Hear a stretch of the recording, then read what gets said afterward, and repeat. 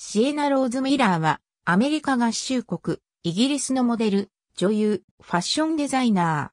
ー。アメリカ合衆国、ニューヨークで生まれ、幼い頃にイギリス・ロンドンに移住。バークシャーの寄宿学校を卒業後、2000年から1年間、ニューヨークのリー・ストラスバーグ・インスティチュートに在籍。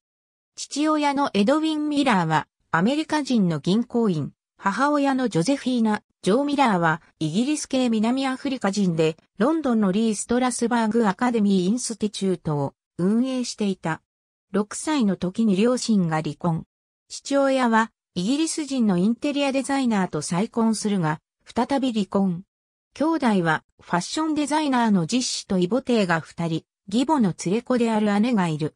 モデルとしてキャリアを始め、タンディ・アンダーソンと契約後にコカ・コーラやイタリア版、ボーグ、プラダのモデルとなる。2003年には、ピレリのカレンダーのモデルに起用される2006年には、ペペジーンズの専属モデルとして契約する。俳優として間もない頃に、ニューヨークで舞台、ザ・ストライカー、インデペンデンスやアンソニー・ミンゲラが監督したシガレッツチョコレートに出演。2001年にサウスケンジントンで映画デビューを果たす。2003年にはアメリカのテレビシリーズ、キーン・エディのレギュラーとして出演。2004年公開の映画、アルフィーで共演したジュードローとの交際で有名になる。翌年には、お気に召すままで、ヒロインのロザリンドを演じて、ウエストエンドの舞台に立った。同年公開の映画、カサノバでは、ヒース・レジャーの相手役を演じた。2006年公開のファクトリーガールでは1960年代のポップ、アイコニー・リ・セジウィックを演じ、映画初主演を果たした。ファクトリーガールのプレミアにて2007年公開のスティーブ・ブシセミ監督作品、インタビューで、インディペンデント・スピリット賞主演女優賞や、英国アカデミー賞、ライジング・スター賞にノミネートされた。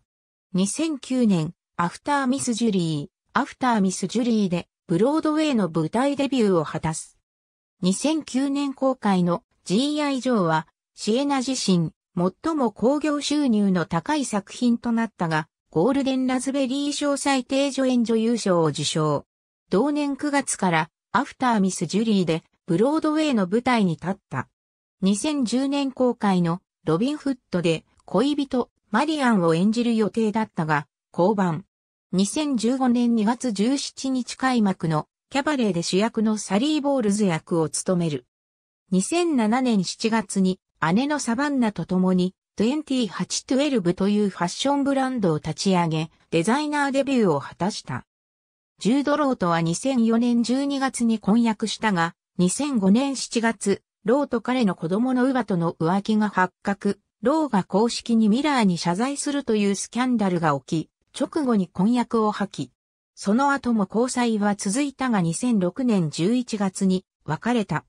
2009年に復縁したが、2011年11月に破局。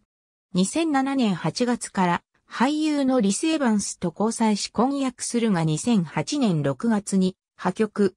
同年7月にはバルサザール・ゲティとの交際が話題となったが、11月には早くも破局した。